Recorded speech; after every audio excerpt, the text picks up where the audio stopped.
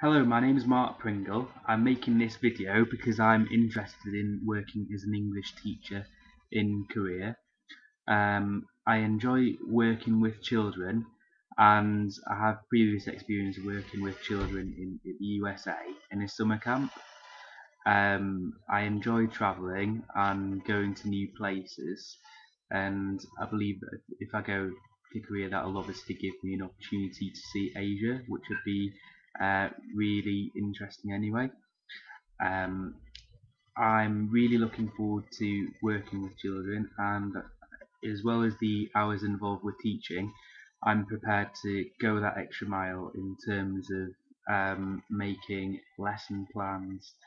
Um, if I go, I want to make the lessons fun so that if the kids are, are in there, that they have a good time and that they have plenty of opportunity to practice the, the English lessons in my classes. So uh, I'm sure that they um, that would help them learn uh, better than if, if, I was just talking myself.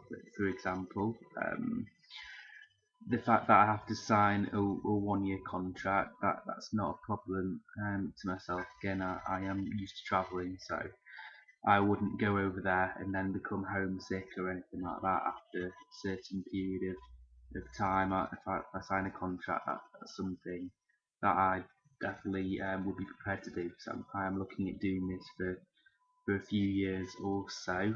So um, I'm hardworking, um, enthusiastic, and yeah, I am really looking to um, go over to Korea to, to work and to teach English. So um, if you do decide that you are interested, just get back to me at any time, and uh, what I can do is I can speak further about it. Um, any questions, just just again, just um, let me know because I'm really looking forward to doing this.